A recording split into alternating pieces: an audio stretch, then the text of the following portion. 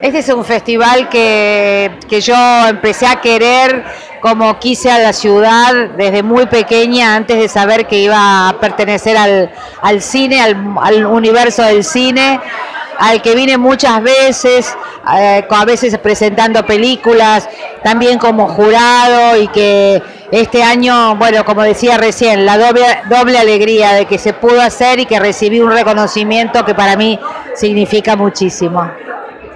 Autocine, volvió al autocine que es, hermoso el autocine. A mí me remite a, a mi infancia y un montón de películas este, que vi en el autocine. Eh, y bueno, me parece que el autocine además de Mar del Plata es precioso, este, que tiene un marco increíble. Así que me alegro, celebro que otra película de las mías se haya pasado en ese lugar tan lindo.